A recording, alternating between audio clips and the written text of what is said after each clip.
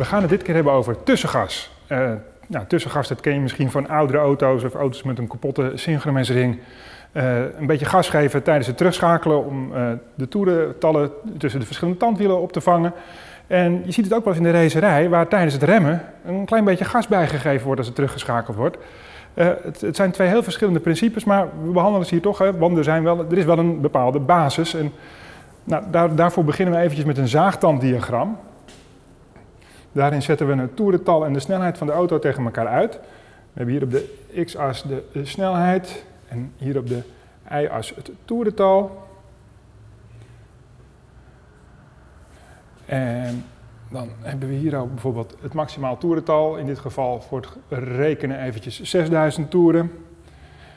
En dan hebben we dat bij verschillende snelheden hebben we hier zo in de vijfde versnelling levert dat deze snelheid op. En dan hebben we hier even een hulplijntje. Dan schakelen we terug, dan komen we in de vierde versnelling en dan hebben we hier de derde versnelling, de tweede en de eerste. Nou, ik zal er eventjes netjes de nummers bij zetten, dan houden we het overzichtelijk. 3, 2 en 1. Nou, laten we voor het gemak even zeggen dat dit 4000 toeren is. In de praktijk loopt het uh, niet zo recht, het loopt het ietsje ronder, omdat als we verder komen in de versnellingen, de versnellingen wat, eh, ten opzichte van elkaar wat langer worden. Maar goed, um, stel nu, we gaan eens eventjes eh, naar die oude auto, daar beginnen we mee, met het dubbel klutje, zoals dat zo mooi heette.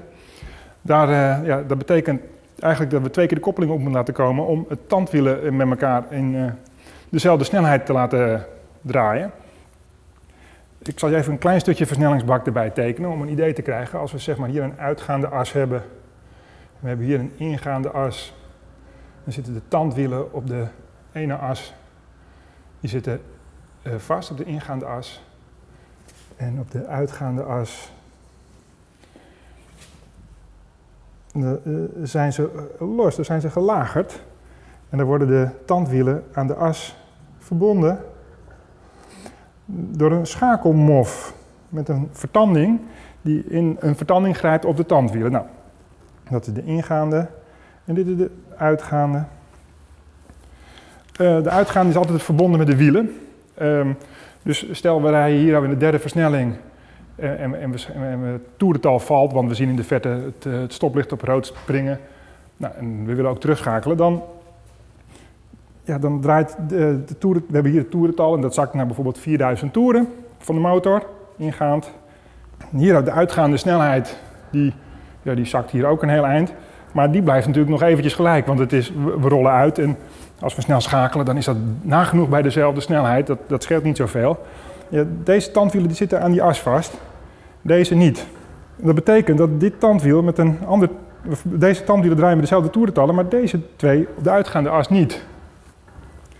Uh, omdat ze los zijn, kunnen ze gewoon vrij bewegen ten opzichte van de as. Nou, in de derde versnelling uh, zit dit aan elkaar vast en draait dit tandwiel dezelfde snelheid als die uitgaande as. Deze, dit tandwiel, dat draait uh, met het toerental wat hoort bij deze overbrenging. Maar dat is absoluut niet de uh, toerental van de uitgaande as. Maar die willen we dadelijk wel gaan krijgen. Voor we die schakelmof die andere kant uit kunnen bewegen. Want hebben we dat niet, dan... We hebben in dit geval geen synchronesringen vliegen de tanden om je oren en dat wil je natuurlijk voorkomen. Dan hoor je echt uh, gekraak. Nou, wat doen we dan? We rijden die derde versnelling en dat toerental dat daalt. Dan laten we de, de koppeling, eh, trappen we in. We zetten de versnelling in neutraal. Ik heb hier een koppeling en die kan open en dicht. Hier is de motor. Ik geef een klein beetje gas bij om die tandwielen op deze as uh, weer, nou, nou, laten we zeggen, de benodigde toerental wat we hebben om van 4000 moet naar 6000 gebracht worden.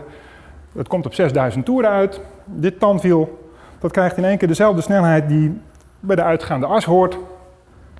Ik trap de koppeling in, ik uh, schakel die schakelmof door en ik uh, heb dit toerental bereikt en ik kan de koppeling weer op laten komen. En ik ben in de tweede versnelling en dan kan ik weer verder afremmen. En dat kan ik bij de volgende versnelling ook uiteraard weer herhalen. Nou, dat is het principe van dubbelkluts. Dus je komt aanrijden, uh, in dit geval de derde versnelling. Je trapt de koppeling in, je zet de uh, versnellingspook in neutraal, je geeft gas bij tot je op het toertal uitkomt wat bij die snelheid hoort in de volgende versnelling. Trap snel de koppeling weer in, schakelt terug naar in dit geval de tweede versnelling. Je laat de koppeling opkomen en als het goed is gaat het allemaal zonder kraken. Heb jij heel mooi de uh, volgende versnelling bereikt met het goede toerental. Dat is dubbel klutje in dit geval. Overigens bij uh, opschakelen kan je min of meer hetzelfde doen, alleen dan zonder tussengas. Stel, we zijn hier in 2 en we moeten, terug, uh, we moeten door naar 3. Nou, dan doe je eigenlijk hetzelfde, maar dan in plaats van gas bijgeven, laat je even de motor zakken in toeren door geen gas te geven. En op het moment dat je dat toerental bereikt hebt, doe je diezelfde actie weer. En dan zit je in de derde versnelling met het goede toerental. Dus dan ga je van 6 zakt die terug naar 4. En dan ga je weer verder tot je weer door wil naar de vierde versnelling of afhankelijk van het verkeer wat er nodig is. In de racerij zien we ook wel, of horen we het eigenlijk ook wel dat, er een raceauto uh, een beetje gas geeft tijdens het remmen. Bijvoorbeeld als je op een bocht aankomt, dan hoor je een klein beetje gas. En je ziet het tegenwoordig bij sportieve auto's ook wel met een dubbele koppelingsbak waar het automatisch gaat. Dat je hem in de sportstand, dat je een klein bliepje gas bij hoort geven op het moment dat er teruggeschakeld wordt. Nou, dat is niet om tandwielen bij elkaar in uh, dezelfde snelheid te brengen. Want dat, is, uh, dat gaat vanzelf, gesynchroniseerd als het goed is. Of als je een, een racebak hebt, dan nou ja, goed, aan het eind van de wedstrijd gaat hij uit elkaar. Dan maakt het allemaal wat minder uit. Nee, wanneer we aan het racen zijn, dan, dan rijden we op het scherp van de snede. En dat betekent ook dat de banden op de limiet zitten. En ja, komen daar extra krachten bij, dan heb je kans dat die auto in onbalans raakt. Of misschien in een slip of van de baan vliegt. Je wilt het allemaal niet weten. Nou, om dat tegen te gaan uh, tijdens het remmen, ik zal het even schetsen. Stel, we komen in de vijfde versnelling komen we op een bocht aan. Er moet geremd worden. Dat toerental dat zakt van die motor. En nou, op een gegeven moment moet teruggeschakeld worden. We zitten op 4000 toeren inmiddels. We gaan vliegensvlug naar die vierde versnelling. we laten die koppeling meteen weer opkomen. Want zie die motor die, zit nog, die draait nog 4000 toeren.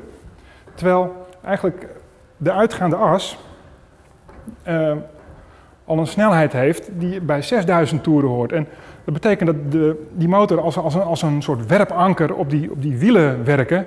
Waardoor op het moment dat je die koppelingen op laat komen, die, die vertraagde motor, uh, ja, die wielen als het ware lijkt te blokkeren. En dat wil je voorkomen. En dat kun je dus oplossen door tijdens het remmen, en dat doen ze ook wel heel en toe, want met je hiel rem je een beetje en met je teen geef je een klein beetje gas, of net andersom, wat je, wat je voorkeur geniet. Maar met die ene voet doe je de remmen en een klein beetje gas geven, zodat op het moment dat die koppeling opkomt, die motor weer 4000 toeren rijdt en die wielen ongestoord uh, contact hebben met het wegdek, uh, met het toerental wat daarbij hoort. Dat is eigenlijk uh, wat er in de racerij gebeurt met een klein beetje tussengas. Nou, dit zijn de basics van tussengas.